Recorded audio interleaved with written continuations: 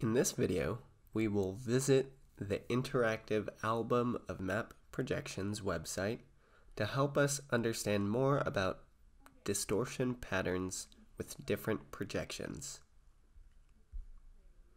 First, navigate to the website using the link in the description. Notice the drop-down menu on the bottom left. This lets you toggle between different projections. Change the projection to Mercator. Then click on the box that says Distortion Ellipses. These ellipses show a series of circles at each intersection of longitude and latitude.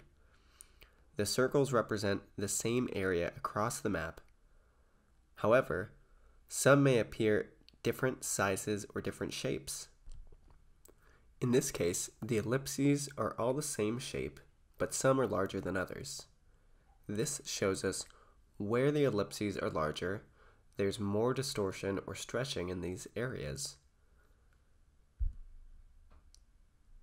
Now change the projection to the Lambert conformal conic projection. Notice that the ellipses are significantly larger as they move south on the grid lines. Again, the ellipses are the same shape, but they're very different sizes. As you move towards the South Pole, they get much larger. They are much smaller at the North Pole, and you can change the standard parallel or the standard parallel to in this case. Think about if this is a secant or a tangent projection.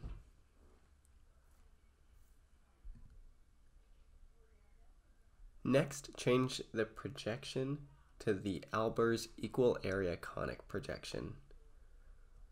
Since this is an equal area projection, you may notice the size of the ellipses are all the same, but the shape is very distorted as you move south. This is because they are least distorted at the standard parallels, which are in the northern hemispheres. Now pick a projection of your choosing and explain a little bit about the distortion ellipses and the pattern that you see